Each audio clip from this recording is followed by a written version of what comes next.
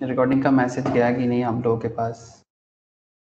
Just confirm me है दादा okay sir ठीक है सर ओके ठीक है बाकी लोग आएगा तो बीच में लेंगे। तब तक हम लोग चलते हैं सर चलो। तो गुड इवनिंग सर सबको फिर से। ठीक है? तो गुड इवनिंग किस बात की? सर हम लोग मार्केट टाइट लॉ पढ़ेंगे। मार्केट टाइट लॉ में क्या पढ़ेंगे सर मार्केट टाइट लॉ में हम लोगों का डिस्कशन चल रहा है अभी। पार्टनरशिप एक्ट में पार्टनरशिप एक्ट 1932 जो चल रहा था, वो ख़त्म। जब लोगों का नहीं हुआ, वो बाद में फिर से करेगा। बट हम लोग अभी 1932 नहीं, हम लोग बात करेंगे अनदर पार्टनरशिप एक्ट जो न्यूली बना है। मतलब बहुत ज़्यादा पुराना नहीं है, ऐसे थोड़ा सा, ज़्यादातर लॉ थोड़ा सा पुराने दिन में बना हुआ है। बट ये जो लॉ आज पढ़ेंगे, ये 90s का नहीं है, ये 2000 में बना हुआ है। Sir 2000 in the sense sir 2008 ठीक है? 2008-9 में ये जो एक्ट हम लोग आज बात करेंगे, ये 2008 के आसपास में आया है 2009 से रोल आउट हुआ है। सर लॉ का नाम बताओ। सर लिमिटेड लाइबिलिटी पार्टनरशिप क्या नाम बताया सर मैंने आपको? Limited liability partnership sir is a very interesting act it's a very very interesting act थोड़ा लाइट इशू है आई नो बट अब लोग एक भूत तो देख रहे हो और मेरा आवाज़ भी ठीक ठाक से आ रहा है तो दिक्कत नहीं होगा।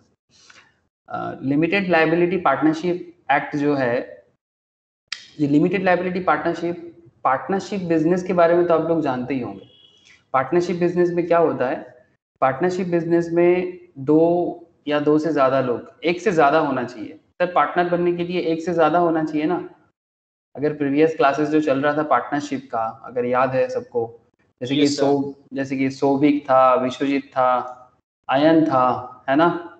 शोभिक विश्वजीत आयन सबका मिला के क्या चल रहा था सर पार्टनरशिप बिज़नेस चल रहा था।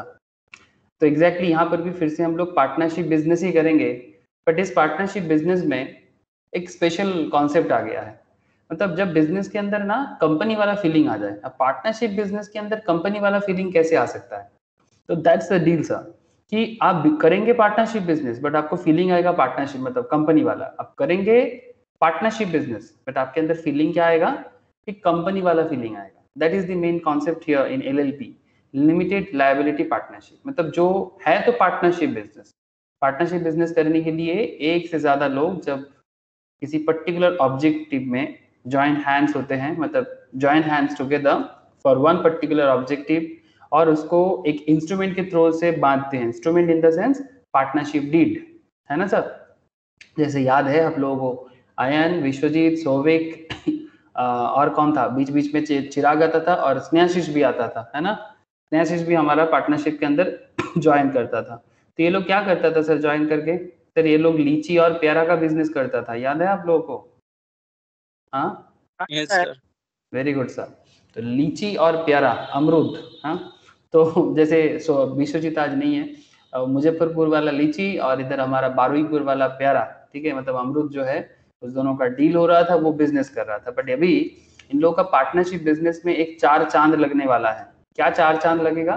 क्योंकि इनका बिज़नेस अभी एल बनेगा। जैसे आप लोग चार्टर्ड अकाउंटेंट मैक्सिमम लोग पढ़ाई कर रहे हो सीएस कर रहे हो सीएमए का पढ़ाई कर रहे हो।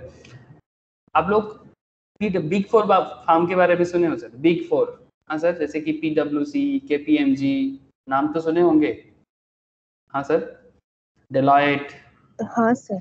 E N Y Ernst and Young इनमें से मैक्सिमम जो कंपनीज़ है ना मैक्सिमम जो बिजनेसेस है ये पार्टनरशिप एक्ट है sir. L L P act के थ्रू से चलता है।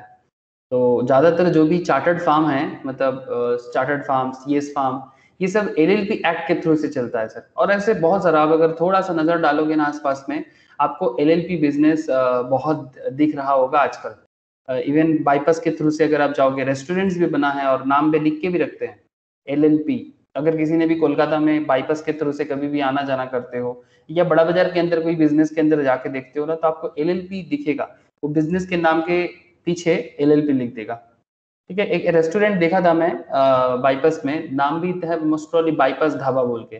तो नाम भी रखा है बाईपास ढाबा एल ऐसा कुछ रोशनी मुझे बता सकता है रोशनी उस रास्ते से आना जाना जरूर करता होगा रोशनी ऐसा है। एक है ना कहाँ पर बना है। बोल तो वो अ, चिंगड़ी घाटा बाईपास चिंगड़ी घाटा बाईपास के पास है ना है কি কি নাম দিয়েছে বিজনেসটার এলএলপিটার নামটা মনে নেই রেস্টুরেন্টটার নাম বাইপাস ধাবা भाई रेस्टोरेंट का नाम बाईपास ढाबा और वो अपने नाम के पीछे क्या लगा के रखा है एलएलपी देखेंगे अगर ऑनलाइन में मिल जाए तो मैं आपको दिखाऊँगा। तो बट ये एलएलपी बनने के पीछे का रीजन क्या है और ये एलएलपी एक्ट आपको क्या सिखाता है वही मैं आप लोगों को बताऊँगा कि क्यों एक पार्टनरशिप बिज़नेस अपने आप को एलएलपी में बदलते हैं और नॉर्मल पार्टनरशिप और एलएलपी में फ़र्क क्या है? नॉर्मल पार्टनरशिप और एलएलपी में फ़र्क क्या है? क्या स्क्रीन शो हुआ आप लोगों को? Yes sir yes sir okay sir ठीक है।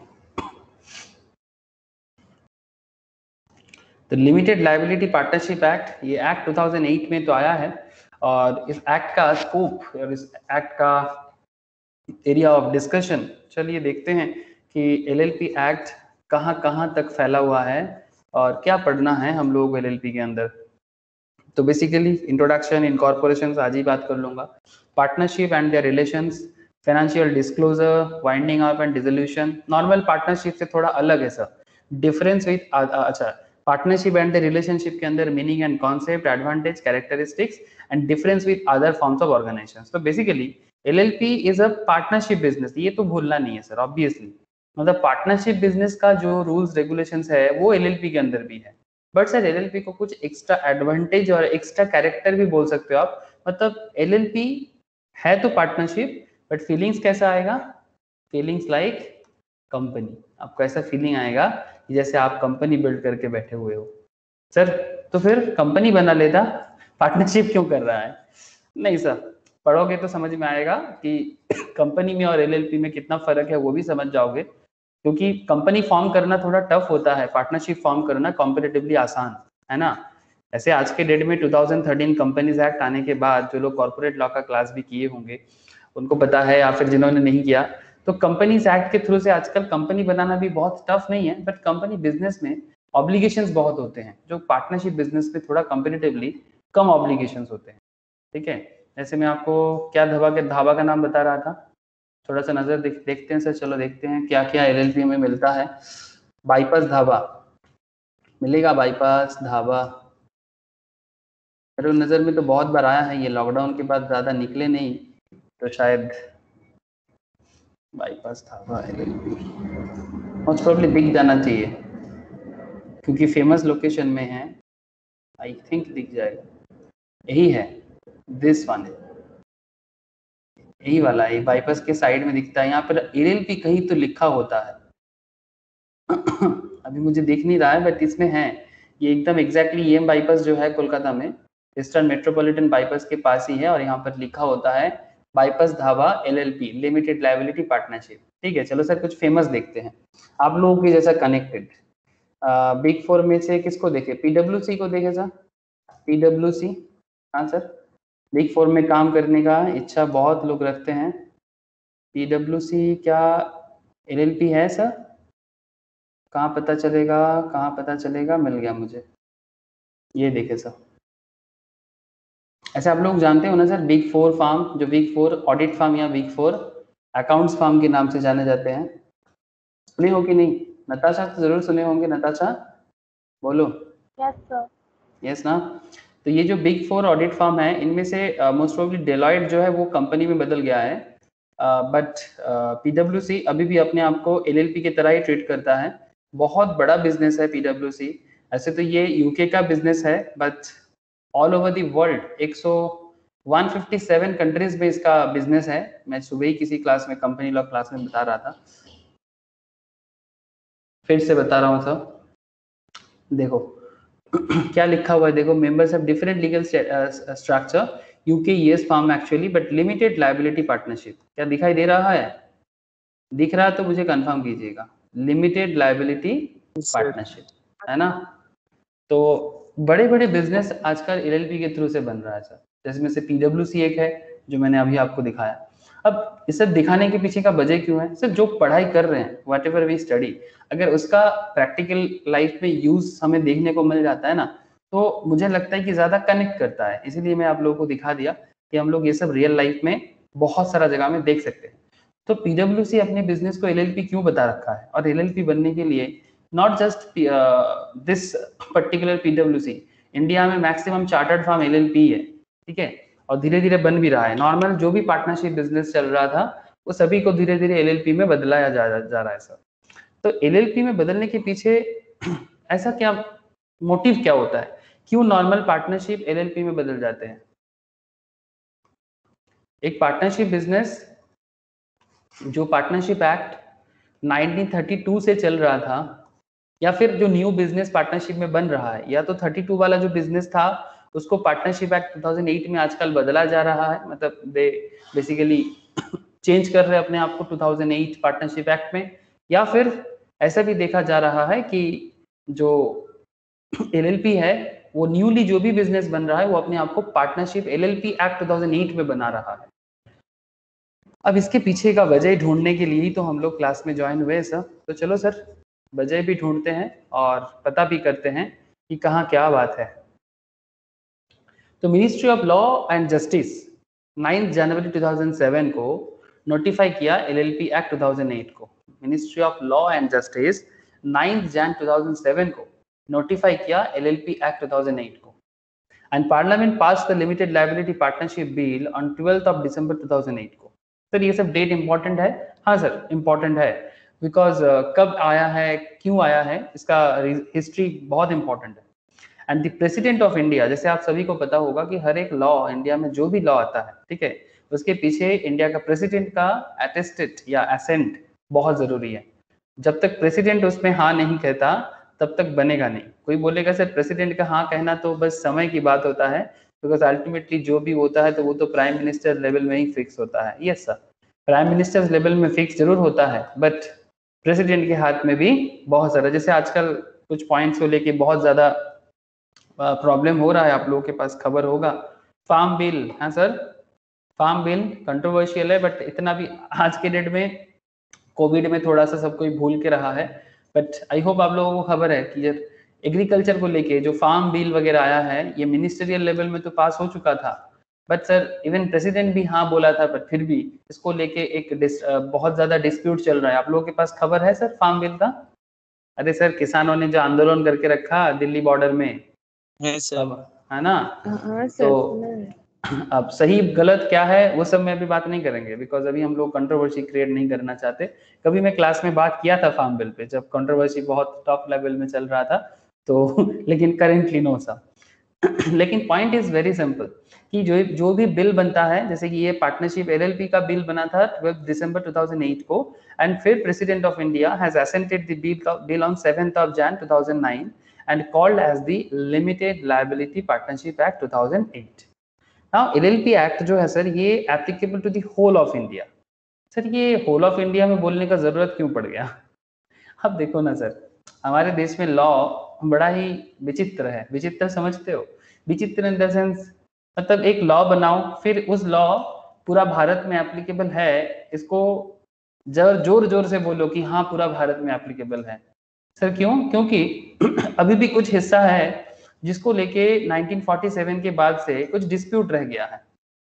ठीक है? जैसे एक हिस्सा का नाम बताओ सर, जिसको लेके डिस्प्यूट रह गया है कि वो भारत का है, नहीं है, इसको लेके एक चर्चा, एक मतलब एक्चुअली ये पुराना गलती है।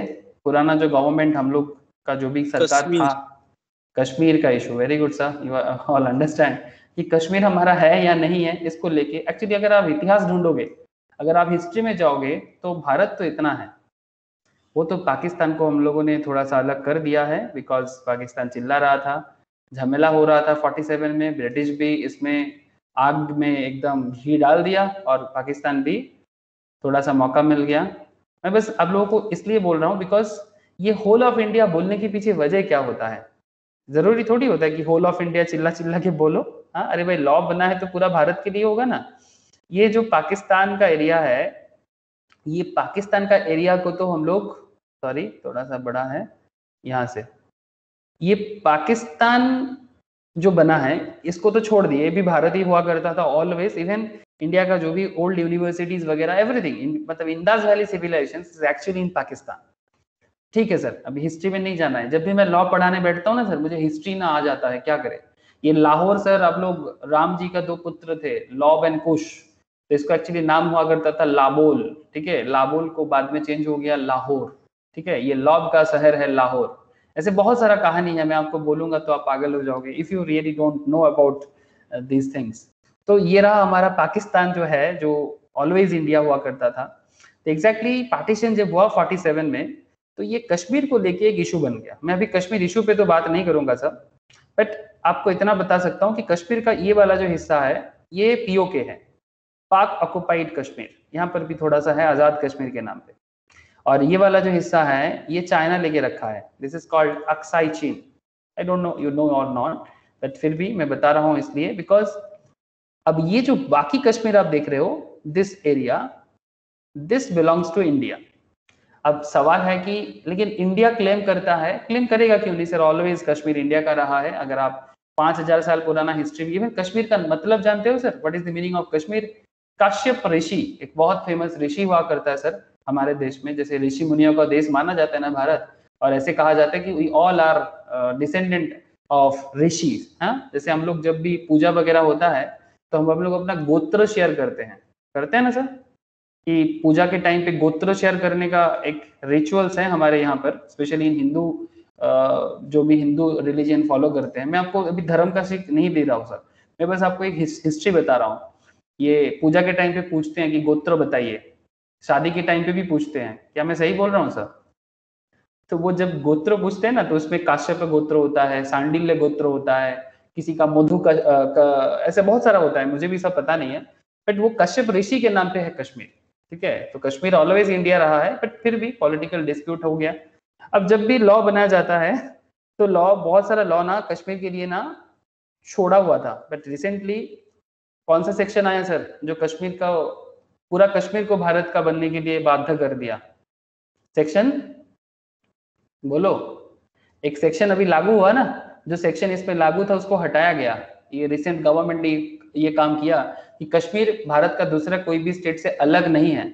जो पूरा भारत में चलता है वो पूरा कश्मीर में भी चलेगा। पूरा Kashmir even with PoK as well as Aksai Chin कौन सा सेक्शन है? 370 370 370 अब ये 370 सेक्शन को जब विड्रॉल कर लिया जिसके कारण कश्मीर को स्पेशल स्टेटस मिलता था ठीक है? वो स्पेशल स्टेटस हटाया गया और स्पेशल स्टेटस हटाने के बाद एक्चुअली ये भी एक प्रॉब्लम है, ठीक है? ये भी कुछ पुराना डिस्प्यूट है, गलत पॉलिटिक्स है ऑब्वियसली तो एक फ़ेमस पॉलिटिशियन थे हमारे देश में बंगाल से ही बिलोंग करते थे, श्यामा प्रसाद मुखर्जी। उनका एक बहुत फ़ेमस कहानी था मतलब कहावत है, मैं बाद में एक बार देख रहा था। वो कहते हैं कि एक देश में दो निशान, दो प्रधान नहीं होना चाहिए। तो देश एक है तो फिर कश्मीर का झंडा अलग क्यों? ऐसा स्पेशल स्टेटस क्यों देना है किसी को? जो भी हो सर देश अगर एक है तो फिर झंडा भी एक होना चाहिए, नियम भी एक होना चाहिए। एक देश में दो झंडा, दो नियम, दो प्रधान मतलब दो दो उसका मिनिस्टर अलग, हमारा मिनिस्टर अलग, ऐसा नहीं होना चाहिए। तो इसीलिए लॉ जब बनाया जाता है, ये बात आप लोग हर चीज़ में देखने को मिलता है। आजकल आपको हर जगह में देखने को मिलेगा applicable to the whole of India but अगर आप थोड़ा सा दो चार साल पहले का किताब पढ़ोगे तो आपको हर जगह में देखने को मिलेगा whole of India except the states of Jammu and Kashmir अगर आप थोड़ा सा पुराने दिनों का लॉ का किताब दो, तीन, चार साल पुराना जाओ, आपको वही देखने को मिल जाएगा law is applicable to the whole of India except the states of Jammu and Kashmir यही पढ़ पढ़ के हम लोग बड़े हो गए सर। लेकिन आजकल हमें ये बोलने का ज़रूरत नहीं पड़ता कि except the states of Jammu and Kashmir ये वाला सिचुएशन आजकल खत्म हो रहा है, और होना भी चाहिए। ठीक है? होना भी चाहिए, सर, क्योंकि इसमें देश का बैलेंस बिगड़ते हैं। ऐसा कभी नहीं होना चाहिए। देश जो है, वही है, ठीक है? अब क्या बताओ सर, आपको मैं अभी हिस्ट्री बताने बैठू ना तो आप लोग भी पागल हो जाओगे। आप बोलोगे, सर लॉ पढ़ाना छोड़ के आप हिस्ट्री पढ़ा रहे हो। लेकिन, सर, क्या करें? कुछ बातें इतना जुड़े हुए होते हैं, आपको भी पता होना चाहिए कि इसको applicable to the whole of India बोलने का ज़रूरत क्या था? ये मेरा पहला सवाल है आपके सामने। कोई मतलब होता है? एक लॉ बना है पूरा देश के लिए उसको होल ऑफ़ इंडिया बताने का ज़रूरत किस चीज़ में आ जाता है? हाँ? चाइना के लिए लॉ बनेगा तो इसके लिए नहीं उसके लिए नहीं ऐसा करेगा क्या? मतलब कुछ चीज़ों में अगर डिस्प्यूट रहता है तो उसके लिए लॉ में बताना पड़ता है होल ऑफ़ इंडिया में एप्लीकेबल है। ठीक है? चिल्ला चिल्ला के सीना तान के बोलना पड़ता है कि होल ऑफ़ इंडिया में एप्लीकेबल है। सर आप लोग बात को समझ रहे हो ना सर? मैं क्यों बोल रहा हूँ ये सब थोड़ा बहुत? ज़्यादा तो नहीं जा सकता बट थोड़ा बहुत क्यों बोल रहा हूँ? आप समझ में आ रहा होगा आप लोगों को।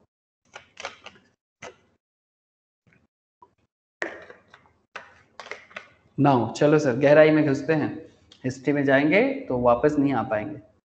This act has been enacted to make provision for the formation and regulation of L L P and for matters connected with their with incidental thereto the L L P act two thousand eight has eighty one section and four schedules इस act में total eighty one section बनाया गया है and चार schedule बनाया गया है। बहुत वाइटल पॉइंट है, इसलिए मैंने गोला कर दिया। याद रखना है आप लोगों को।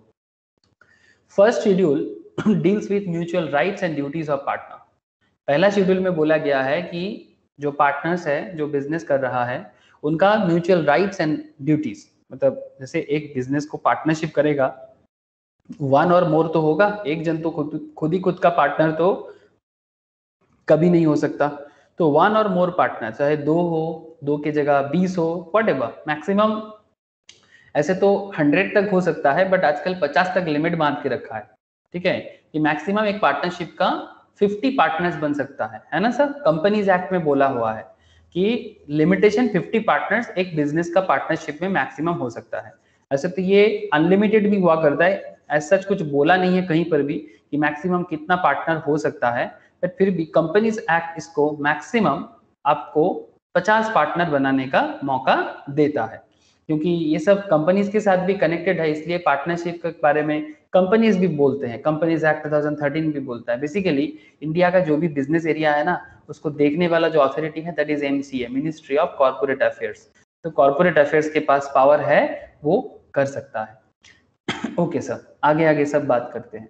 First schedule deals with mutual rights and duties of partners as well as limited liability partnership and these partners where there is absence of formal agreement with respect to them sir wait sir wait ये limited liability वाला word हम लोग actually ना मतलब इतना दिन से जो लोग कंपनी लॉ पढ़ते हो ऑलरेडी या पढ़ के आए हो दे नो कि कंपनी में ये कॉन्सेप्ट बहुत यूज़ होता है। लिमिटेड लाइबिलिटी कंपनी है ना सर जो लोग कंपनी लॉ पढ़ चुके हो, जो नहीं पढ़े डोंट वरी सर वो बाद में पढ़ेगा। But I just want to say कि सर लिमिटेड लाइबिलिटी ये वर्ड हम लोग कंपनी में पढ़ते हैं। है ना सर बोलो।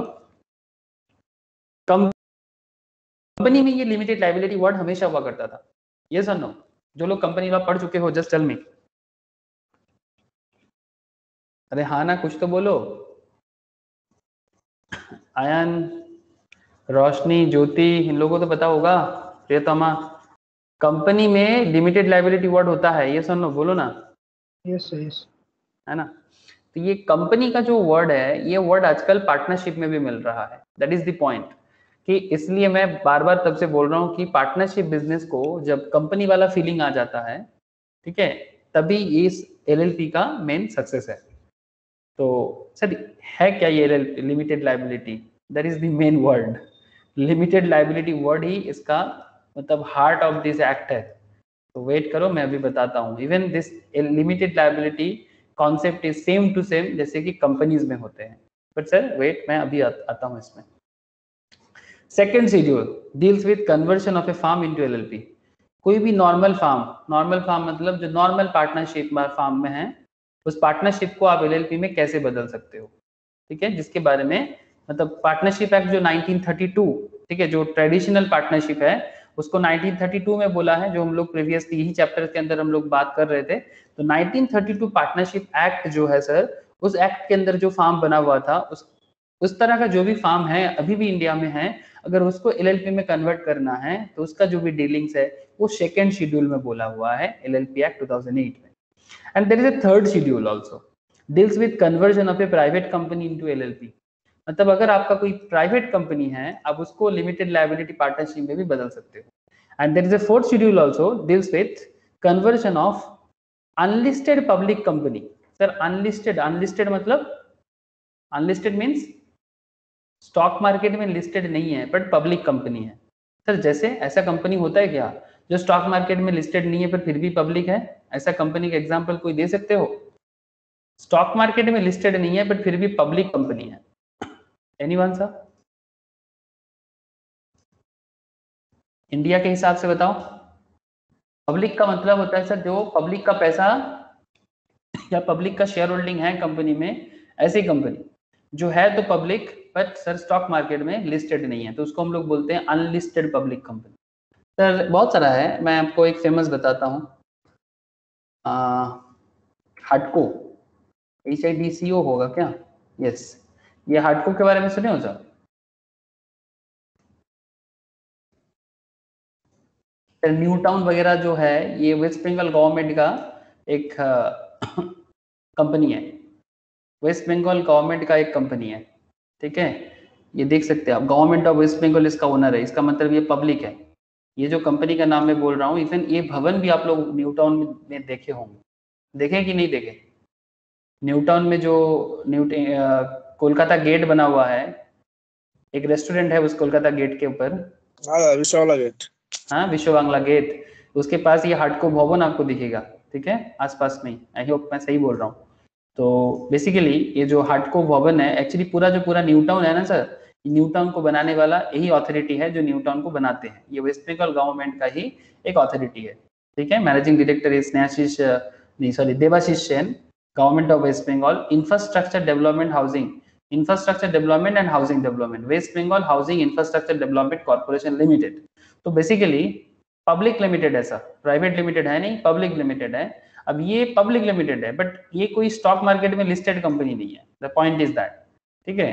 तो इसको बोलते हैं अनलिस्टेड कंपनी सर ऐसे बहुत सारा मिलेगा, हर स्टेट का है, और भी है सर अनलिस्टेड जैसे लेकिन सर, एक हडको है जो स्टॉक मार्केट में लिस्टेड है। सर, क्या बात करते हो? सर, दूसरा हडको कौन सा आ गया? ये देखो सर हडको का शेयर प्राइस दिख रहा होगा। आई होप सबको स्टॉक मार्केट रिलेटेड आइडिया नहीं है बट फिर भी स्टॉक मार्केट मेरे डिस्कशन में आ ही जाता है because stock market is our mirror हमारे इकोनॉमी का मिरर है स्टॉक मार्केट इसलिए मैं जब भी क्लास में, क्योंकि जो भी डिस्कशन होता है अकाउंट्स हो फाइनेंस हो टैक्सेशन हो, मैं हर क्लास में लॉ हो स्टॉक मार्केट का चर्चा मैं कहीं ना कहीं कर ही लेता हूँ।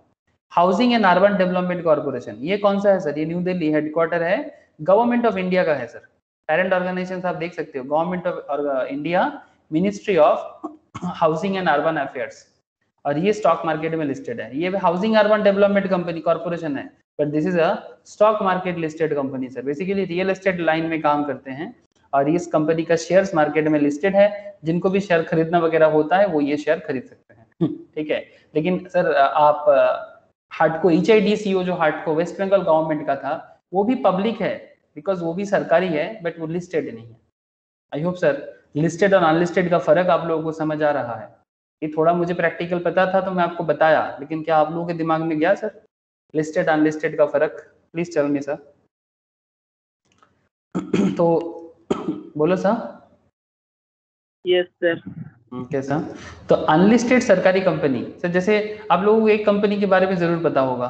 जैसे पूरा वेस्ट बंगाल में एक कंपनी इलेक्ट्रिसिटी डिस्ट्रीब्यूट करता है। कैलकाटा कैलकाटा सी जो है सर कैलकाटा इलेक्ट्रिक सप्लाई को छोड़ के और एक कंपनी है W B A C D C L नाम सुने हो? हाँ सर क्या करता है सर इलेक्ट्रिसिटी डिस्ट्रीब्यूट करते हैं ना वेस्ट बंगाल की मैक्सिमम एरिया में मतलब मैक्सिमम वेस्ट बंगाल इसी पर्टिकुलर कंपनीज़ के थ्रू से इलेक्ट्रिसिटी डिस्ट्रीब्यूशन घर घर में मिलता है। ये भी पब्लिक लिस्टेड कंपनी है। West Bengal state electricity distribution corporation limited इसका भी रेवेन्यू है आप देख सकते हो। ओनर कौन है? वेस्ट बंगाल स्टेट इलेक्ट्रिसिटी देख सकते हैं sir chairman managing director Shantanu Bose IAS है प्रोडक्ट इलेक्ट्रिसिटी है रेवेन्यू इतना कमाते हैं नेट इनकम सब दिया हुआ है। This is also public public company है सर बट सर अनलिस्टेड है मतलब स्टॉक मार्केट में है नहीं। बट ऐसे बहुत सारी इलेक्ट्रिसिटी कंपनी है जो स्टॉक मार्केट लिस्टेड है। जैसे सर सीएसी जो है सर जिस कैलकाटा इलेक्ट्रिक सप्लाई जो है सर वो प्राइवेट कंपनी है सर तो प्राइवेट ओन्ड है। But this is a stock market listed company this is also public company but this is stock market listed है ये संजीव गोइंका का कंपनी है sir I hope you know sir Sanjay RP Sanjiv Goenka group जो बहुत ही famous businessman है हमारे कोलकाता का। तो कैलकाटा इलेक्ट्रिक सप्लाई कॉर्पोरेशन सोनी का है। ये इसका शेयर मार्केट में होता है। आप देख सकते हो even last one year back अगर किसी ने स्टॉक में इन्वेस्ट किया था तो ऑलमोस्ट सात सौ चल रहा था, अभी आठ सौ चल रहा है। ठीक है सर बस आपको आइडिया जनरेट करने के लिए मैंने शेयर वगैरह का एग्ज़ाम्पल दिया ताकि आपको मैं लिस्टेड और अनलिस्टेड के बारे में बता सकूँ। तो जो स्टॉक मार्केट में लिस्टेड होता है that is called listed and जो स्टॉक मार्केट में लिस्टेड नहीं होता है, उसको कहते हैं अनलिस्टेड तो बाकी पब्लिक सरकार, जिसमें पब्लिक का पैसा हो, उसी को कहते हैं पब्लिक कंपनी सिंपल बात है। तो इस तरह का अनलिस्टेड कंपनी को हम लोग एलएलपी में कन्वर्ट कर सकते हैं। ठीक है? उसके बारे में फोर्थ शेड्यूल में डील किया गया है। इस पर्टिकुलर एक्ट में 81 सेक्शन है और चार शेड्यूल के बारे में कहा गया है। 81 सेक्शन एंड चार शेड्यूल और एक एक शेड्यूल में, किस शेड्यूल में, किस बारे में बताया गया है sir that is the area ठीक है? अब सर क्या कहना चाहते हो? चलो सर आगे बढ़ते हैं। ठीक है? बहुत सारा पॉइंट है। Ministry of corporate affairs and register of companies are interested with the task of administrating LLP Act 2008. The central government has the authority to frame the rules with regard to LLP Act 2008 and can amend them by notification in the official gazette from time to time. Ministry of Corporate Affairs and the Register of Companies, इस particular LLP act का जो भी काम है, उसको administer करता है। Sir, ये एमसीए कौन है सर? सर, पूरा भारत में जो भी बिज़नेस चलता है, उसको देखने वाला एक मिनिस्ट्री का अथॉरिटी है। सर, दिखाओ ना, कौन सा अथॉरिटी हम भी देखना चाहते हैं। चलो सर, देखने जाते हैं हम लोग एम सी पोर्टल में चलते हैं। मिनिस्ट्री ऑफ़ एम ठीक है? Company L L P master data अच्छा चलो होम होम पे चले गए। दिखाई दिया आप लोगों को? दिखाई दे रहा है ना सर सरकारी साइट है मोदी जी का। वैक्सीनेशन दिख रहा होगा है ना? तो गवर्नमेंट सेंट्रल गवर्नमेंट के साइड में आपको हमेशा रूलिंग पार्टी का दिखता होगा ठीक है?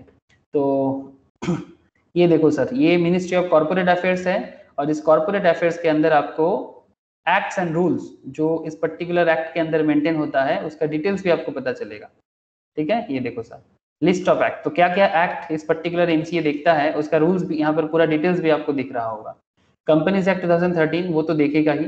साथ में आप देख सकते हो लिमिटेड लाइबिलिटी पार्टनरशिप एक्ट 2008 मैं आपको गवर्नमेंट के साइड में लेके आ गया सर। क्या आप लोगों को समझ में आ रहा है ना? Yes sir. तो जो भी हम लोग रियल लाइफ में काम करते हैं उसका डिटेल्स यहाँ पर बोला हुआ है ठीक है? तो ये मिनिस्ट्री ऑफ़ कॉर्पोरेट अफेयर्स का ही एडमिनिस्ट्रेशन है, जो कंपनीज़ एक्ट 2013 भी आपको पढ़ाए मतलब मतलब बेसिकली पढ़ाते नहीं है, ये पूरा मेंटेन करता है। लिमिटेड लाइबिलिटी पार्टनरशिप एक्ट जो हम लोग करेंटली डील कर रहे हैं, ठीक है? दैट इज़ ऑल्सो हियर आप लोग चाहो तो जा, जाके यहाँ पर चेक कर सकते हो व्यू मॉल में जाके और डिटेल्स देख सकते हो कि क्या है एक्चुअल में। That is the real area जिसको लेके आप लोगों को आगे आगे काम जो भी करना हो ना, इसी एमसीए के थ्रू से ही करना हो। तो एज ए सी काम करो as A C S as A C में जो भी आपका एरिया ऑफ एक्सपर्टाइज हो but these are the very important area for your business law purpose sir company return out করতে গেলে এমসিএ রিপোর্ট লাগে না স্যার हाँ ऑब्वियसली एवरीथिंग सर हर चीज में आपको एमसीए का ही डेटा चाहिए ना एमसीए ही सब चीज देखता है मिनिस्ट्री ऑफ कॉर्पोरेट अफेयर्स का ही काम है कि आपको हर चीज का डेटा उसी के पास बताना पड़ेगा insolvency and bankruptcy code 2016 this is also ठीक है अब सारा का सारा एक्ट तो आप लोग अभी नहीं पढ़ते हो बट चाहे आप इंटरमीडिएट में हो या फाइनल में हो तो पढ़ ही लोगे कंपटीशन एक्ट 2002 पार्टनरशिप एक्ट ये सब बेसिक तो है, जैसे ये तो आप पढ़ ही चुके हो पार्टनरशिप एक्ट 1932 ठीक है? ये तो हम लोग जस्ट पढ़ के आए ना सर पार्टनरशिप एक्ट 1932 जो नॉर्मल पार्टनरशिप बिज़नेस का बात है, वो तो हम लोग प्रीवियसली ही चैप्टर में डिस्कस कर रहे थे बिज़नेस लॉ में। और हम लोग अभी इसी का एक एक्सटेंडेड एक न्यू पैटर्न ये भी पार्टनरशिप है this is also partnership this is a old pattern partnership जो अभी भी काम करता है। चार्टर्ड अकाउंटेंट्स एक्ट 1949 आप देख सकते हो। That is also deal in MCA CA act आप लोग सब सीए का स्टूडेंट्स हो, ठीक है? फिर है सर और भी है नॉट जस्ट सीए है यहाँ पर सीएमए वाले भी हैं सीएस भी है तो मैं सभी के बारे में बात बोलूँगा, जो एम एमसीए का काम है। Look here the cost and working accountants act दिखाई दे रहा है सर जो लोग सीएमए का पढ़ाई करते हैं दे आर ऑल्सो हियर जो लोग सीएस भी पढ़ाई कर रहे हैं, जो C S CS CS CMA तीनों पढ़ाई कर रहे हैं, ऐसे भी कोई कोई है 1980s company secretaries act 1980s society registration act 1860 and the companies donation and national fund act 1951 तो इतना सारा एक्ट के बारे में बेसिकली कौन डील करता है? मिनिस्ट्री ऑफ़ कॉर्पोरेट अफेयर्स आप समझ गए ना सर तो अल्टीमेटली चाहे आप एलएलपी पढ़ो या कंपनीज़ एक्ट डीलिंग्स का एरिया डिपेंड करता है एमसीए के ऊपर. ओके ओके सर चलो सर आगे बढ़ते हैं. ये देखो सर यहाँ पर कितना सुंदर लिखा हुआ है। The ministry of corporate affairs is primarily concern with the administration of the companies act 2013 the companies act 1956 जो कंपनीज़ एक्ट का पुराना एक्ट था। आफ्टर इंडिपेंडेंस हमारे देश में जो एक्ट बना था वो 1956 एक्ट हुआ करता था। उसको बाद में कंपनीज़ एक्ट में चेंजेस आया अमेंडमेंट आया और न्यू एक्ट बनाया गया उसका नाम दिया गया sir companies act 2013 and the Limited Liability Partnership Act 2008 and other allied acts, rules and regulations framed mainly for regulating the functioning of the corporate sectors in accordance with law in order to simplify the compliance procedure and provide consolidated information on applicable acts, rules and regulations to the stakeholders. MCA has launched e-book of 10 acts and applicable. हो सके तो e-book download करके पढ़ाई करो sir ठीक है rules and regulations for companies and LLP administered by it सब modern data है जो भी चाहिए होता होगा कंपनी क्या कर रहा है? सरकार क्या कर रहा है? You will get to know everything not just आपकी स्कूल या इंस्टीट्यूट की किताब, ठीक है? आपके सिर्फ़ इंस्टीट्यूट की किताब ही नहीं सर आप रियल लाइफ में सरकारी डेटा निकालो, जो भी अपडेट हो रहा है, जो लोग प्रैक्टिसनर है, जो लोग टीएस प्रैक्टिसनर है, जो लोग सीए प्रैक्टिसनर है, ये लोग भी यही सबसे डेटा निकाल के पढ़ते हैं। आप भी पढ़ना चालू कर दो sir C S C S बनना है तो फिर फीलिंग भी होना चाहिए आपके अंदर। ठीक है सर बाद में फील कर लेंगे, आप आगे बढ़ते रहो। ठीक है सर आप लोग आप लोग कहीं कहीं बार गुस्सा हो जाते हो मेरे ऊपर, मुझे पता है। क्योंकि मैं आप लोगों को इतना कहानी में लेके चला जाता हूँ, आप लोग गुस्से में सोचते रहते हो कि, सर, इतना स्टोरी नहीं चाहिए हमें। आप सिर्फ़ पढ़ा दो। ओके, सर, मैं सिर्फ़ पढ़ा देता हूँ। ज़्यादा कहानी सुन के क्या फ़ायदा? Okay. Need of new form of limited liability partnership. इसका ज़रूरत क्यों हो गया? ऐसा क्या बात हो गया जो पुराने पार्टनरशिप एक्ट में नहीं था, जिसको एलएलपी का ज़रूरत पड़ गया? ध्यान से सुनना, सर। बहुत वाइटल पॉइंट है। The lawmakers envisage the need for bringing out a new legislation for creation of the LLP to meet with the contemporary growth of the Indian economy. हर बात एक जगह में जाके रुक जाते हैं, और वो बात है इंडियन इकोनॉमी का। क्यों, सर? ये जो आप लोग इतना मेहनत से पढ़ाई कर रहे हो। क्यों पढ़ रहे हो, सर? पढ़ाई करके जॉब पाना है ना? बिज़नेस करना है? फार्म ओपन करना है? क्या मैं सही बोल रहा हूँ, सर? आपके पास ऑप्शन ही क्या है कुछ करने के लिए? या तो आप अपना बिज़नेस करोगे। सर, कोई भी बिज़नेस कर सकते हो। ऐसे नॉट जस्ट कि सीए सीए में करके सिर्फ़ फार्म ही ओपन करते हैं, ऐसी बात नहीं है। हमारे देश में ऐसे बहुत सारे हैं जो लोग सीए बनने के बाद टीचर्स बना है सीए बनने के बाद इन्वेस्टर बना है सीए बनने के बाद बिजनेसमैन बना है। देखना चाहोगे ऐसे लोगों के बारे में? बहुत सारे हैं। एक फ़ेमस लोगों के बारे में बताते हैं, सर। फिर इनके बारे में तो सुने ही होंगे आप लोग, राकेश झुंझुनवाला। इंडिया का most probably top thirty thirty richest person में से एक है, ठीक है मोस्ट प्रोबली ये आज तक कोई बिज़नेस नहीं बनाया, अपना कोई फार्म भी नहीं है, सिर्फ़ लोगों के बिज़नेस में इन्वेस्ट किया और इनको इंडिया का वारेंट बफेट कहा जाता है। 430 60 करोड़ का नेट वर्थ है इनका और ये भी चार्टर्ड अकाउंटेंट का पढ़ाई करके रखे हैं। तो बेसिकली सी ए सी ए में बनने के बाद आपके पास ऑप्शन बहुत है। सर, एक सी ए बिजनेसमैन के बारे में बताऊँ। सर, कुमार मंगलम बिरला, नाम तो सुने होंगे? बिरला ग्रुप के चेयरमैन जानते हो इनको सर हाँ? इज़ अ चार्टर्ड अकाउंटेंट ठीक है? Kumar Mangalam Birla is a chart ऐसे बहुत सारा है। चार्टर्ड अकाउंटेंट का लिस्ट बिजनेसमैन की लिस्ट में बहुत सारा। मोतीलाल ओसवाल। आपको खत्म नहीं कर सकता बोल बोल के। हाँ बट बहुत सारे नहीं है। बट फिर भी मतलब आपके पास ये मोतीलाल ओसवाल जो फ़ेमस स्टॉक ब्रोकिंग कंपनी है ये भी मोतीलाल ओसवाल जी का है ये भी चार्टर्ड अकाउंटेंट थे। तो ज़रूरी नहीं कि सभी कोई एकदम ट्रेडिशनल वे में फार्म ओपन करके बैठे। फार्म तो है ही। Chartered firm is always there वो तो रहेगा ही, क्योंकि वो तो ट्रेडिशनल वर्क है। आजकल तो आपके पास बहुत सारा ऑप्शन है करने के लिए। तो जो करना है करो बट अल्टीमेटली ये सभी कुछ आप तभी कर पाओगे जब अल्टीमेटली इकोनॉमी में डेवलपमेंट बने। देश की प्रगति हो, देश में डेवलपमेंट हो, देश में बिज़नेस हो। इन सिंपल इंडियन इकोनॉमी जब तक ग्रोथ नहीं होगा, तब तक आप लोग कहाँ जाओगे सर इतना सीए इतना सीएमए इतना सीएस का ज़रूरत क्यों होगा? जब तक देश में बिज़नेस नहीं होगा, तब तक नहीं बन सकता। चाहे बिज़नेस गवर्नमेंट के थ्रू से आए, चाहे बिज़नेस प्राइवेट के थ्रू से आए। और हम लोगों को पता है सर गवर्नमेंट के थ्रू से बिज़नेस होना मुश्किल है, बहुत मुश्किल है। तो कम से कम प्राइवेट रूट से ही बिज़नेस आ जाए। बट इसके लिए बिज़नेस करने के पीछे लोगों का जो मानसिकता है मतलब जो माइंड सेटअप है, सर, वो बहुत ज़रूरी है। मतलब चाहे प्राइवेट एंटरप्रेन्योर ही हो या गवर्नमेंट एंटरप्रेन्योर गवर्नमेंट में एंटरप्रेन्योर कैसे आएगा? गवर्नमेंट में तो सब सिक्योर माइंडेड लोग होते हैं ना सर। उनके अंदर एंटरप्रेन्योरशिप माइंड नहीं होता। उनको पता है कि I will get eighty monthly मुझे मिल जाएगा। मुझे एक लाख का सैलरी मिल जाता है, बस और कुछ नहीं। चाहिए बिज़नेस सर इनोवेशन से आते हैं। और बिज़नेस करने के लिए एक माइंड सेटअप और एक एक एंटरप्रेन्योर क्या बोले सर? मतलब ऐसे एक एनवायरमेंट ज़रूरी है इकोसिस्टम जब तक उस देश में नहीं बनता है ना वो वाला देश में डेवलपमेंट नहीं आता। सर इंडिया में बना है क्या? ये सर थोड़ा बहुत स्टार्ट हुआ है। थोड़ा बहुत स्टार्ट हुआ है, सर। सर इंडियन इकोनॉमी को अगर आप थोड़ा देखें, इसका ग्रोथ है ऑब्वियसली इंडियन इकोनॉमी का ग्रोथ है। मैं आपको ढेर सारा चीज़ें इसलिए दिखा रहा हूँ बिकॉज़ नीड क्यों आया? इतना सारा एक्ट बनाने के पीछे। तभी मैं आपको समझा सकता हूँ कि ऐसे ही नीड नहीं आ गया। नीड आने के पीछे कुछ ना कुछ रीजन है, ठीक है? आज इंडियन इकोनॉमी ग्लोबल इकोनॉमी का one of the best economy से एक जाना जाता है। हमारा पॉपुलेशन प्रेशर ज़रूर प्रॉब्लम करता है बट 138 करोड़ की आबादी है ऑलमोस्ट जीडीपी 3.05 ट्रिलियन का है। जीडीपी रैंक में हम लोग वर्ल्ड में सिक्स है। जीडीपी ग्रोथ में हम लोग थोड़ा सा पीछे जा रहे हैं। सबसे मुश्किल है सर हमारा पार कैपिटल जीडीपी मतलब जिस हिसाब से हमारा पॉपुलेशन है, उस हिसाब से हम लोगों का ग्रॉस डोमेस्टिक प्रोडक्ट या फिर जो भी प्रोड्यूस हमारे देश में मैन्युफैक्चरिंग होना चाहिए, उतना लेवल पे नहीं होता। ठीक है? और चाहिए। GDP by sectors industry sector अभी बहुत पीछे है सर सिर्फ़ 25 परसेंट है. एग्रीकल्चर में 16 परसेंट ऑफ़ जीडीपी आता है. मैन्युफैक्चरिंग से 14 परसेंट सर्विस सेक्टर्स में इंडिया अच्छा कर रहा है. ठीक है? तो ये सारा का सारा सेक्टर जब मोटा मोटी 30-40 परसेंट का ग्रोथ देना चालू करेगा ना तो इंडियन इकोनॉमी में एक बहुत अच्छा इंप्रूवमेंट दिखेगा और जो दिख भी रहा है सर आजकल. ठीक है? सर कैसे पता चला? सर एक एक डेटा शो करते हैं आपको. रिसेंटली ये अपना आईसीएमआई है ना सर मतलब सीएम इंस्टीट्यूट मतलब आप लोगों के लिए बता रहा हूँ, क्योंकि not just C A C S CM institute is also there need बहुत ज़्यादा बढ़ रहा है। और उसका जो डेटा ये देखो sir recently CMA campus placement drive जो हुआ है इंस्टीट्यूट से, सारा भारत से लास्ट 40 दिन में लास्ट ऑलमोस्ट 40 50 डेज़ में more than 400 cost accountants have placed in various reputed companies आप देख सकते हो, सभी कंपनी का नाम लिखा हुआ है।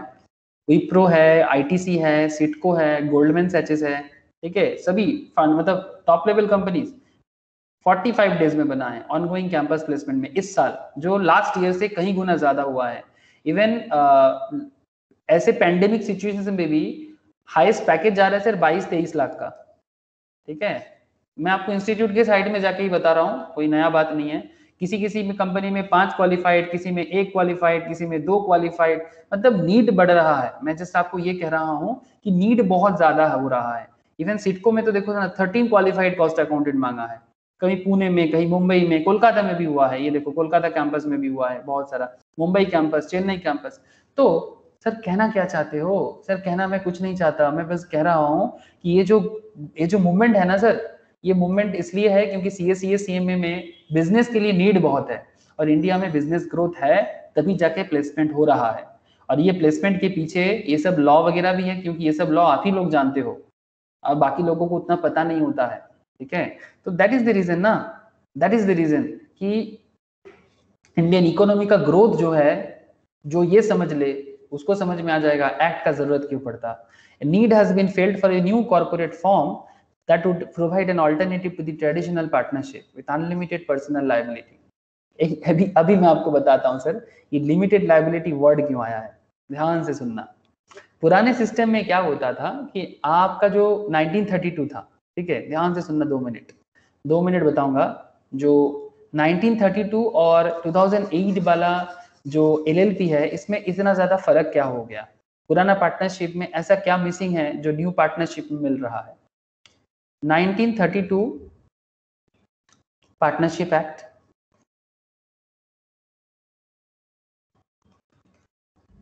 and 2008 LLP act दो मिनट का बात है, सर। पूरा का पूरा कॉन्सेप्ट अभी का अभी क्लियर हो जाएगा आप लोगों को। ध्यान से सुनना, सर। सर, एक कंपनी बना लेते हैं। चलो, सर बिल्डिंग बन गया। बिल्डिंग पे छत भी बना लेना चाहिए ना? ओके सर, थोड़ा न्यू स्टाइल में छत भी बन गया। अरे वाह! ऐसा छात मिले हर जगह में। ऐसा घर देखे आप लोग? मैं तो कभी नहीं देखा। मेरा आर्किटेक्ट सर वर्ल्ड फ़ेमस है। आप लोग मुझे रिकमेंड करना हर जगह में कि सर का आर्किटेक्ट इतना अच्छा है कि सर ऐसा घर तो कहीं नहीं दिखेगा आप लोगों को। सर मज़ाक क्यों कर रहे हो? पढ़ाने का काम है, पढ़ाओ। सर क्या करे? दिमाग खराब हो जाता है कभी कभी ओके सर ये न्यू है। न्यू मॉडल थोड़ा सा पागला टाइप का बना है। पर ठीक है सर, चलेगा। ऐसा घर भी मैंने कभी नहीं देखा, बट फिर भी आज मैं देख लिया, ठीक है? तो ये एलएलपी एक्ट का कंपनी बना है फार्म बना है और ये ओल्ड सर, ये ओल्ड पार्टनरशिप एक्ट में जो बिज़नेस बनता था these are business house basically और कुछ नहीं है सर। बिज़नेस हाउस जो पार्टनरशिप बना के बिज़नेस कर रहा है। दिस इज़ ऑल्सो पुराने सिस्टम में जो पार्टनर्स बनते थे, इनके बीच में पार्टनर्स के बीच में जो मतलब पार्टनर्स के बीच में जो वट क्या हो रहा है सर किसका एंट्री में प्रॉब्लम है? ओके. पुराना पार्टनरशिप बिज़नेस में जो लाइबिलिटी है ना सर ये लाइबिलिटी अनलिमिटेड है। सपोज़ मानो ये किसको ले ली? आयन है और सोविक है, ठीक है? आयन सोविक स्नेहाशीष ठीक है? तीनों पार्टनर है। है ना तुम लोग? सुन सुन पा रहे हो आप लोग मेरा आवाज़? आयन स्नेहाशीष शोभिक आवाज़ आ रहा है मेरा? सर ओके सर अब आयन सोभिक स्नेहाशीष तीनों 1932 में अपना बिज़नेस बना है। ठीक है सर चलो सर आयन भी देख लो। ऐसे है आयन देखने में। आयन गुस्सा मत होना। सर मैं गुस्सा करूँगा तो आप क्या कर लोगे कंप्यूटर के अंदर से? अच्छा ठीक है sir this is Ayan. This is Sovik ठीक है? सोविक तो एकदम पागल की तरह नाच रहा। है और ये कौन है सर? सर ये है स्नेहाशीष अरे वाह हीरो तो है तू। स्नेहाशीष अपना हीरोगिरी देख। अरे वाह। सर एकदम हीरो। सर पता नहीं ये कहाँ का इंसान है बट मेरा इंसान मतलब मेरा ड्राइंग का कलाकारी ऐसा ही होता है। जो भी हो। सर ये तीनों कौन है? ये तीनों पार्टनर है ठीक है? तो ये तीनों पार्टनर कब का पार्टनरशिप बनाया? है 1932 एक्ट के हिसाब से। अब सर, इन लोगों का जन्म तो 2000 के बाद में ही हुआ होगा, या 90 के 98 99 हो सकता है ज़ोर से ज़ोर। मेरे हिसाब से 2000 के बाद के ये सभी कोई।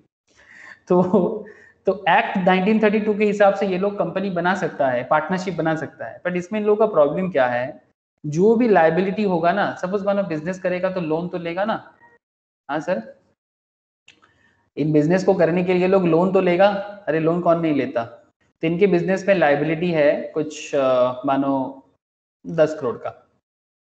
अब ये दस करोड़ का लाइबिलिटी जितना है, इनके एसेट का जो वैल्यूएशन है करेंटली से फॉर एग्ज़ाम्पल आठ करोड़ का। एसेट बेच के मिलेगा आठ करोड़ लेकिन लाइबिलिटी है मार्केट में दस करोड़ किसी कारण से ऐसा हो गया है सर बिज़नेस डूब गया है या फिर प्रॉब्लम है? तो ऐसे सिचुएशंस में ये जो एक्स्ट्रा दो करोड़ है सर ये दो करोड़ का क्या होगा? पुराने एक्ट के हिसाब से। लोन इज़ लाइबिलिटी ना sir not just loan creditor भी लाइबिलिटी लोन लाइबिलिटी है क्रेडिटर भी लाइबिलिटी है। मतलब जो जिनके प्रोडक्ट रॉ मटेरियल लेके आपने बिज़नेस किया था बेसिकली आपका ऑब्लिगेशन से आपको देना पड़ेगा। ठीक है? आपने लोन लिया था बैंक से आपने क्रेडिटर से रॉ मटेरियल क्रेडिट पे लिया था वट तो 10 करोड़ का टोटल ऐसा लाइबिलिटी हो गया था आपका ठीक है? आपका ऐसे बैलेंस शीट आप चेक कर रहे हो और इसमें आपको दिख रहा है बैलेंस शीट में कि दिस साइड में लाइबिलिटी है। मैं जस्ट शो कर रहा हूँ अकाउंट्स नहीं करा रहा हूँ। दिस साइड में लाइबिलिटी टेन करोड़ और एसेट का वैल्यूएशन लैंड बिल्डिंग जो भी है आपका, ये सब मिला के आपका हो रहा है एट करोड़ का वैल्यूएशन तो सर दो करोड़ का क्या करें? सबके पर्सनल प्रॉपर्टी में हाथ डाला जाए कि नहीं, ना जाए? आठ करोड़ का एसेट है, दस करोड़ का लाइबिलिटी है। तो क्या स्नेहाशीष अयन सोवेक इनके पर्सनल प्रॉपर्टी से ये दो करोड़ लिया जाएगा कि नहीं लिया जाएगा? है सर सबको लगता है हाँ या ना? क्या लगता है? दस करोड़ का लाइबिलिटी है आठ करोड़ मिल रहा है बाकी दो करोड़ मिसिंग है। तो क्या स्नेहाशीष आयन सोविक के प्रॉपर्टी में पर्सनल प्रॉपर्टी में हाथ लगाया जा सकता है सर पर्सनल प्रॉपर्टी बिज़नेस का प्रॉपर्टी में बात तो जो बन रहा है वो तो दिख ही रहा है। बट मैं कह रहा हूँ कि इन लोगों का जो पर्सनल एसेट ये लोग बना है इतना दिन बिज़नेस करके से फॉर एग्जांपल 20 इयर्स और मोर बिज़नेस किया। पार्टनरशिप तो है। हाँ सर पार्टनरशिप बिज़नेस में होगा ना एकदम पर्सनल प्रॉपर्टी से लिया जाएगा दो करोड़ तो ये इसीलिए संभव है बिकॉज़ अनलिमिटेड लाइबिलिटी है। This is because of unlimited liability old partnership system में ये अनलिमिटेड लाइबिलिटी का ही कॉन्सेप्ट है।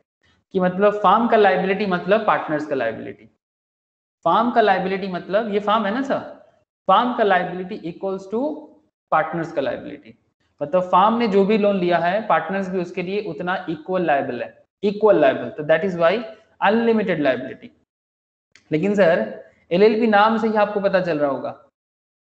कुछ तो एक्स्ट्रा बेनिफिट है। लाइबिलिटी लिमिटेड है। मतलब फार्म का लाइबिलिटी फार्म का ही लाइबिलिटी है। पर्सनल लाइबिलिटी नहीं है।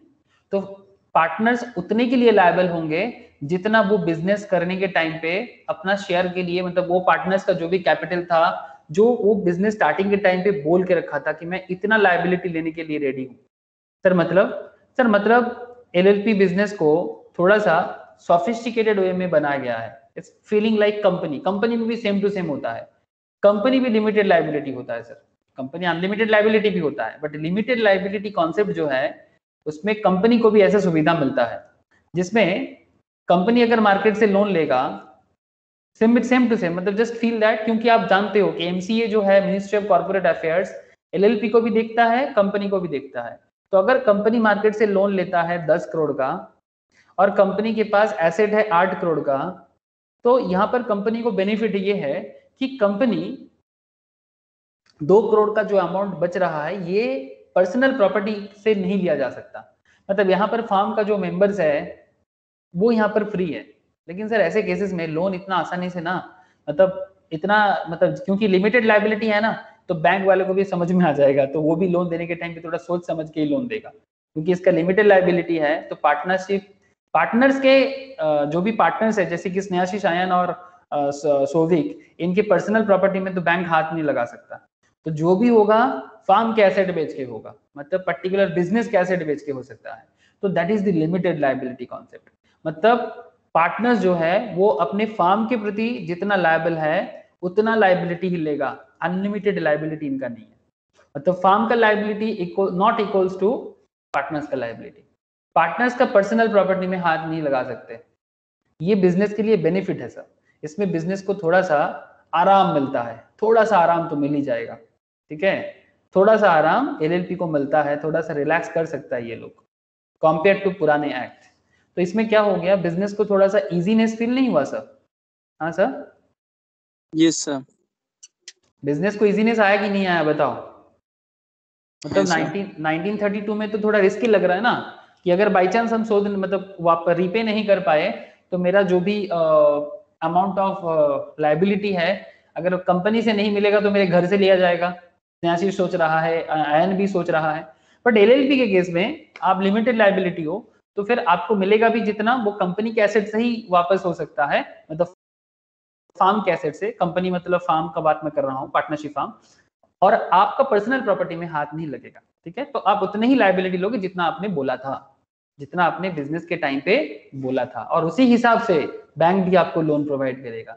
मतलब सिंपल बात है सर अनलिमिटेड लाइबिलिटी में पार्टनर्स या मेंबर्स कंपनी के केस में बोलते हैं मेंबर्स और पार्टनरशिप फार्म के केस में बोलते हैं, क्या बोलते हैं सर पार्टनरशिप फार्म के केस में? पार्टनरशिप फार्म के केस में बोलते हैं पार्टनर्स पार्टनरशिप फार्म के केस में बोलते हैं पार्टनर्स और कंपनी के केस में बोलते हैं मेंबर्स मतलब मेंबर्स का लिमिटेड लाइबिलिटी का मतलब यही होता है कि कंपनी का है कंपनी के ज़मीन से कंपनी के एसेट से दो। ठीक है? से फॉर एग्जांपल आपके पास एक बैलेंस शीट है। कंपनी का होता है ना सर बैलेंस शीट या फार्म का बैलेंस शीट है। अब बैलेंस शीट में कंपनी का जो भी लाइबिलिटी है, जो भी एसेट्स है, ठीक है?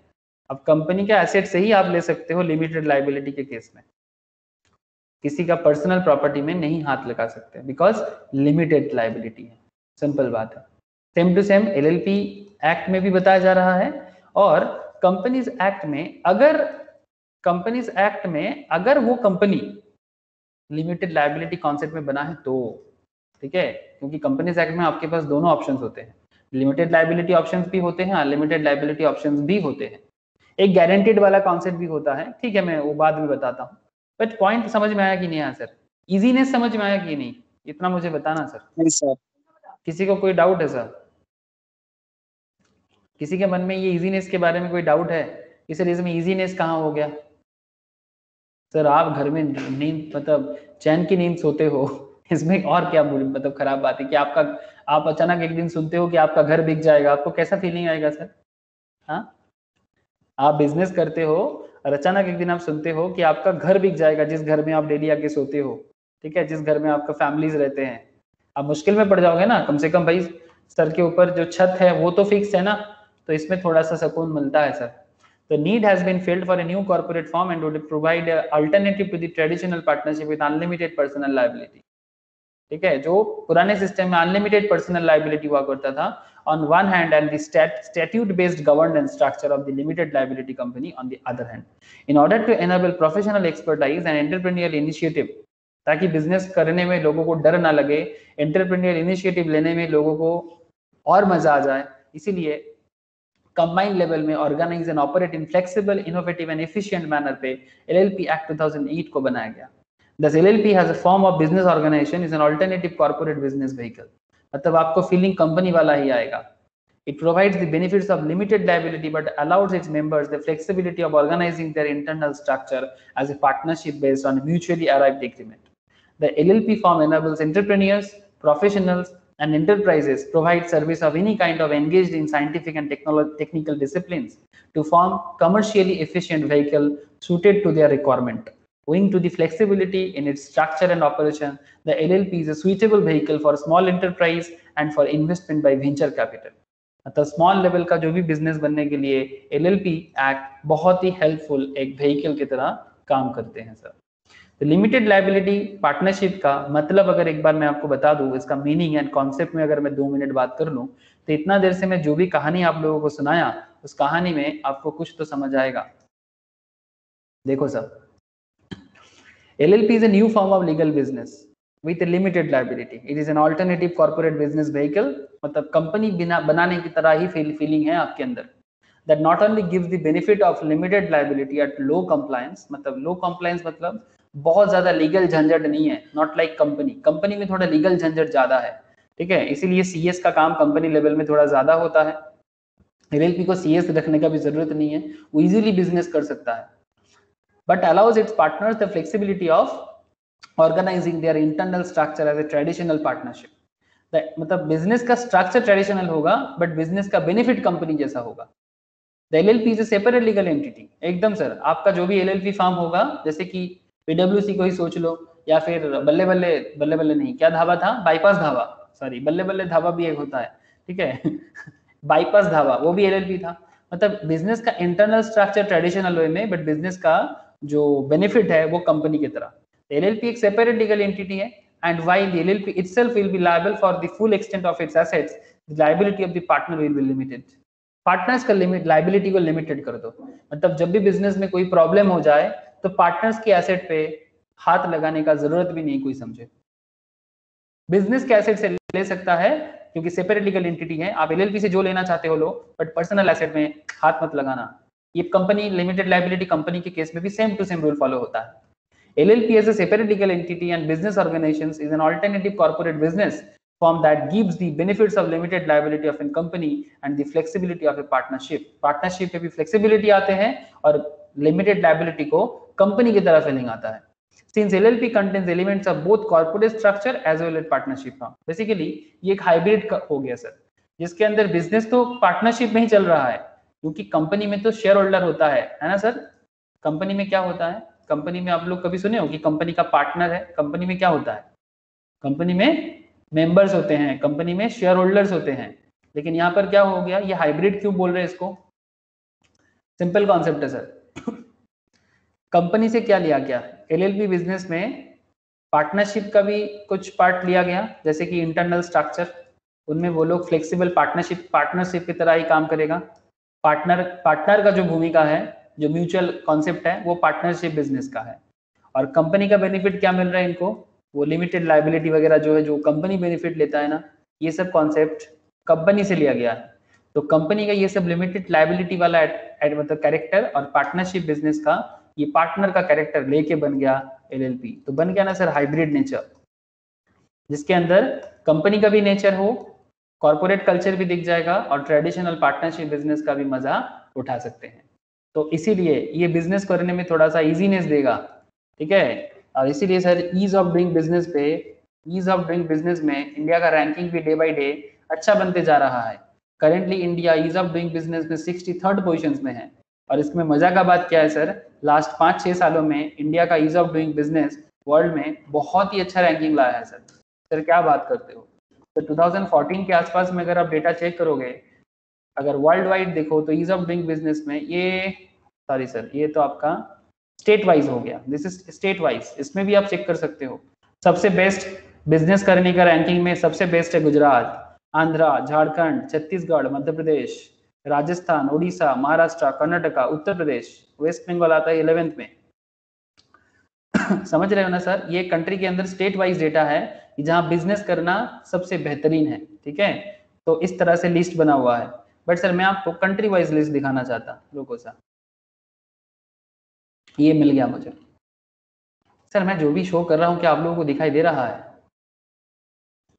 सर। लुक हियर सर सबसे बेस्ट बिज़नेस का एनवायरनमेंट है न्यूजीलैंड में। और न्यूजीलैंड बहुत ही डेवलप नेशन है we all know sir number one ranking में लास्ट तीन चार साल से है। 2017 से। सर सेकंड में Singapore, Hong Kong, Denmark, South Korea United States Georgia United Kingdom ये सब best best top top ease of doing business में। सर इंडिया दिखाओ ना।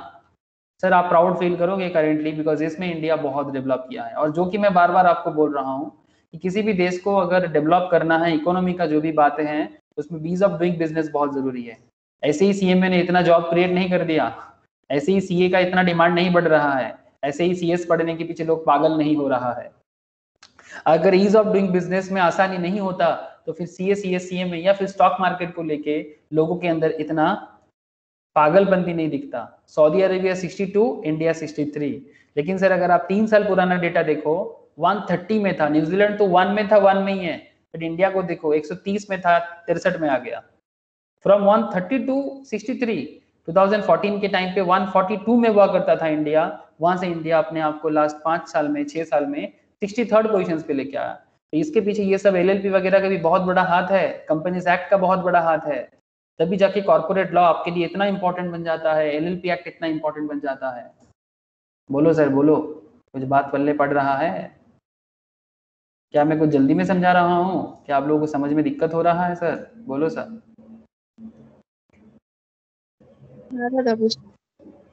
ठीक है? ऐसे नहीं बनता है कंट्री दिखता नहीं है बिकॉज़ देखने के लिए आँख आँखें का ज़रूरत होता है फीलिंग्स का समझ होना चाहिए। ठीक है? बहुत लोग पूछते हैं कि कहाँ डेवलपमेंट हो रहा है? अरे भाई तुमको क्या पता डेवलपमेंट क्या होता है? तुम्हारे घर का डेवलपमेंट तुम्हें समझ आता है क्या? घर का डेवलपमेंट समझ आता है सबको? इतना बड़ा देश है इतना बड़ा साइज़ है कैसे समझोगे? हाँ? इतना बड़ा कंट्री 135 करोड़ की आबादी हाँ? डेवलपमेंट समझने के लिए जो पॉइंट ऑफ़ व्यू और जो नॉलेज चाहिए ना, वो नॉलेज होना चाहिए, तभी जाके आप समझ सकते हो, एक कंट्री के अंदर डेवलपमेंट किस तरह से हो रहा है। मज़ाक चल रहा है थोड़ी हाँ? ये कोई फैमिली है क्या चार जन का? कि अभी अभी का अभी समझ जाओगे कि क्या, किस तरह से डेवलपमेंट है या नहीं, किसको नौकरी मिला, किसको नहीं। It's a big area sir सबसे इंपॉर्टेंट क्या है ना, हमारे देश में समझने में दिक्कत ये हो जाता है कि हमारा देश का साइज़ जितना है, उसके हिसाब से हमारा पॉपुलेशन थोड़ा भीड़ ज़्यादा है। इतनी सी जगह में 135 करोड़ से भी ज़्यादा लोग रहते हैं। अगर आप चाइना के साथ कंपेयर करना चाहते हो तो आपको चाइना का साइज़ के बारे में नॉलेज होना चाहिए। अब यही चीज़ में अगर चाइना में जाके पुट करूँ, ये रहा सर चाइना और ये रहा इंडिया कितना कितना इंडिया आ जाएगा सर चाइना के अंदर, बताओ?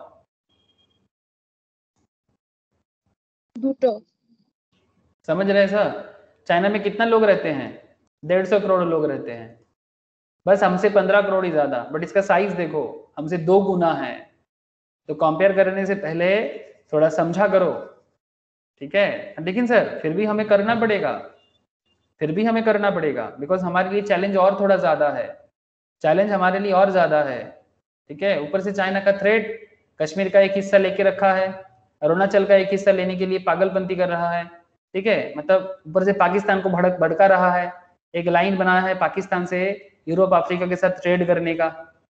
जानते हैं ना सर? अरे बहुत कुछ कहानी है। बोलते बोलते थक जाऊँगा। आप आप थकोगे नहीं। या फिर आप थक जाओगे, मैं थक जाऊँगा। कुछ तो होगा। ठीक है सर? एक क्लास में सारा का सारा बात करने जाऊँ तो मुश्किल हो जाएगा। बेसिकली कहना बड़ा सिंपल है। बिज़नेस को डेवलप करने के लिए सभी पागल है। तो देश को भी, हमारे देश में पागल हो रहा है और इसी का नतीजा है ये सब एक एक एक्ट तो बेसिकली आप एक्ट नहीं पढ़ रहे हो। आप बेसिकली देश का डेवलपमेंट के लिए, जो इकोनॉमी का डेवलपमेंट के लिए जो बिज़नेस स्ट्रेटेजी है, वो स्ट्रेटेजी पढ़ रहे हो sir since L L P contains elements of both corporate structure as well as partnership structure L L P is called a hybrid between a company and a partnership तो क्या क्या हो गया एल एल पी के अंदर? New form of legal business entity with limited liability alternative corporate vehicle allows the partners the flexibility of organising their internal structure llp itself will be liable for the full extent of its assets and liability of partner will be limited. तो partner को थोड़ा चैन की नींद मिल सकता है, थोड़ा सुकून की नींद मतलब थोड़ा पीसफुल स्लीप मिल सकता है घर में कि भाई कुछ नहीं, कम से कम मेरा जो घर है, ये तो मेरा लेके नहीं जाएगा। ये शांति है पार्टनरशिप बिज़नेस एलएलपी बिज़नेस में, जैसे कि नॉर्मल जो पार्टनरशिप है उसमें नहीं मिलता था। बॉडी कॉर्पोरेट का कॉन्सेप्ट होता है सर इंपॉर्टेंट कुछ डेफिनेशन है। सेक्शन टू डी में बताया गया है। It mean a company has defined in section three of the companies and now companies act 2013 that registered under this act LLP को बॉडी कॉर्पोरेट में रजिस्टर्ड होना पड़ेगा सेक्शन टू डी में। L L P corporate outside India वो भी body corporate है। मतलब देश के बाहर बना है इंडिया में बिज़नेस करते हैं, उसको भी मान लेंगे। जैसे कि, अरे जैसे कि सर जैसे कि जैसे कि प्राइस वाटर कूपर हाउस हाँ सर प्राइस वाटर कूपर ये जो हमारा पीडब्ल्यू है ये भी तो एलएलपी है। बट क्या ये एलएलपी इंडिया में बना है सर हेलो क्या ये पीडब्ल्यू इंडिया में बना हुआ है? नहीं सर ये तो यूके बेस्ड कंपनी है है ना? Headquarters in London England UK तो एरिया सर वर्ल्ड वाइड करता है। हमारे देश में भी इसका बिज़नेस है। हमारे देश में भी इसका बिज़नेस है। स्कैंडल भी है स्कैम भी किया हुआ है। ये देखो सर वर्ल्ड में इतना सारा कंट्रीज़ में इनका ऑफ़िस है। आप लोग भी ऐसे कंपनीज़ में काम करने का मौका ज़रूर ले सकते हो अच्छा रिज़ल्ट करके। सीए में सभी को मौका मिल रहा है। सीए का अपॉर्चुनिटी थोड़ा ज़्यादा है ऑब्वियसली ठीक है? मैंने आपको सीएमए का अपॉर्चुनिटी भी दिखाया। इवन सीएस का भी अपॉर्चुनिटी डे बाई डे बढ़ रहा है। तो ये देखो सर प्राइस वाटर पीडब्ल्यू का ये कहाँ का ऑफ़िस है पता नहीं बट इजिप्ट का South Africa Germany Peru office देख के अंदर में कुछ हो रहा ज़रूर होगा but office is not the issue sir मैं आपको कहना चाहता हूँ कि इनका बिज़नेस बहुत बड़ा सारा बिज़नेस चलता है। पार्टनर मतलब बेसिकली क्या काम करते हैं? अकाउंट्स का ऑडिट का, ठीक है? तो आप सीए बन के सी बन के भी, ठीक है? इवन ग्लोबल आजकल लोग ग्लोबल डिग्री भी लेना चाहते हैं बट इंडिया में भी काम करने का मौका मिलेगा। दोनों एक साथ करो। सीए करके आपको ग्लोबल मौका भी है और इंडियन मौका भी है सर एकदम बिकॉज़ इंडिया में किसी को पीडब्ल्यू को काम करना है ना तो they need Indian chartered okay India में फॉरेन चार्टर्ड से काम नहीं बनेगा, ठीक है? तो इंडिया में काम करना है तो इंडियन चार्टर्ड चाहिए इंडियन सीएमए चाहिए कॉस्ट ऑडिट वगैरह करना है तो बहुत सारा काम बताऊँगा सर बताऊँगा, सब बता दूँगा। L L P registered LLP registered under this act LLP incorporated outside India a company incorporated outside India ये सब बॉडी कॉर्पोरेट है मतलब कंपनी है basically but does not include corporation sole मतलब जो कंपनी है वो एलएलपी में नहीं आता। कोऑपरेटिव सोसाइटी को एलएलपी के अंदर नहीं ले सकते। Any other body corporate not being company as defined in section 3 of the companies act 1956 or a limited liability partnership act, which the central government may by notification in the official gazette specify in this behalf. मतलब basically जो भी LLP registered है LLP act के through से वो body corporate माना जाएगा मतलब उसको कंपनी माना जाएगा। बॉडी कॉर्पोरेट का मतलब होता है कंपनी इसीलिए देखो ना बॉडी कॉर्पोरेट का डेफिनेशन 1956 एक्ट कंपनीज़ एक्ट 2013 में बोला गया है। Section 2 D, section 2 subsection D, section 2 subsection D में बोला गया है। ध्यान रखिएगा बात को, ठीक है? तो एलएलपी एक्ट के अंदर registered LLP LLP outside India LLP company incorporated outside India सभी को एलएलपी के अंदर लिया जा सकता है और बॉडी कॉर्पोरेट में काउंट किया जा सकता है। और किसको किया, क्या नहीं जा सकता, वो भी मैंने आपको बिज़नेस के बारे में कहा गया है sir section two subsection E में business include every trade profession service occupation designated partner section two subsection J designated partner means any partner designated as such pursuant to section 7 मतलब जो भी बिज़नेस में पार्टनर बन रहा है. Simple बात है. एंटिटी मतलब जो बिज़नेस करते हैं उसी को एंटिटी कहते हैं. सेक्शन टू सबसेक्शन के में बोला गया है. ठीक है? Entity means any body corporate and includes for the purpose of section 18, 14, 47, 49, 50, 52, 53 a firm set up under the Indian Partnership Act 1932 वो भी इसमें अंदर आ जाता है फाइनेंशियल ईयर के बारे में तो आप लोग जानती हो कि हमारे देश में फाइनेंशियल ईयर जो होता है वो फ़र्स्ट अप्रैल से थर्टी फ़र्स्ट मार्च तो यहाँ पर भी बोल रहे sir relation to L L P means period from first day of April and 31st day of March of the following year. However, in case of LLP incorporated after 30th day of September of a year, the financial year may end on the 31st day of March of the next year following that year. मतलब अगर कोई LLP 30th day of September मतलब 30 सितंबर के बाद किसी साल में बनता है तो फाइनेंशियल ईयर में एंड मतलब उसका फाइनेंशियल ईयर एंड माना जाएगा 31st day of March of the year next next following that year ठीक है मतलब सिंपल बात है सर कि नॉर्मली तो अप्रैल थर्टी फ़र्स्ट अप्रैल से थर्टी फ़र्स्ट मार्च अगर कोई किसी का बिज़नेस इनकॉर्पोरेटेड हो रहा है थर्टी सितंबर को तो उसका फाइनेंशियल ईयर माना जाएगा थर्टी सितंबर से लेके सिंपल है सिंपल थर्टी सितंबर से लेके थर्टी फ़र्स्ट मार्च मतलब थर्टी सितंबर 2020 में अगर बन रहा है तो थर्टी सितंबर 2020 और एंड हो जाएगा थर्टी फ़र्स्ट मार्च 2021 बस यही बात कह रहा है। न्यू कंपनी के केस में ऐसे ही होता है। चलो देख लेते हैं। If LLP has been incorporated on 15th October 2017, then its financial year may be from 15th October 17 to 31st March 2019. बात को समझो। मतलब ये वाला कॉन्सेप्ट को समझो सर कि इसका फाइनेंशियल ईयर के बारे में क्या कहा गया है। तो very important concept sir LLP का इनकॉर्पोरेट हुआ 15 अक्टूबर 2017 को, ठीक है? 15 अक्टूबर 2017 तो 2017 के बाद आपके पास मार्च कब आएगा? मतलब 18 में आएगा देन 19 में आएगा।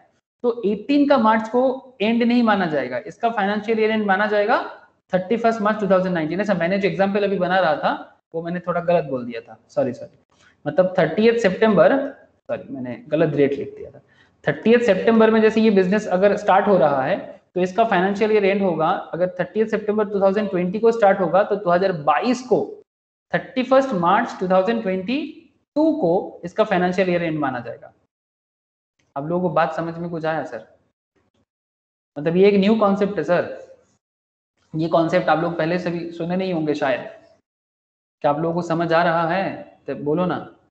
कि एलएलपी के केस में फाइनेंस अगर न्यू बिज़नेस है तो उसको एक एक्स्ट्रा ईयर मिलता है। मतलब सितंबर ऑफ़ द ईयर में अगर बन रहा है या फिफ्टींथ अगर 2017 में बन रहा है देन फाइनेंशियल ईयर में भी from fifteenth October 2017 to 31st March 2019 ठीक है the income tax department has prescribed uniform financial year from 1st april to 31st march of next year in keeping with income tax law the financial year of llp should always be from 1st april to 31st march each year ये income tax के साथ सभी को चलना पड़ता है sir ठीक है बिकॉज़ इनकम टैक्स इसी को फाइनेंशियल ईयर मानते हैं और इसीलिए सभी के लिए फाइनेंशियल ईयर इसी तरह से बिल्ड किया जाता है सिमिलरली आपके पास फॉरेन एलएलपी के बारे में कहा गया सेक्शन टू सबसेक्शन एम में it means P formed incorporated और registered outside India which establish a place of business within India जैसे कि PW limited liability partnership section two subsection N में कहा गया है।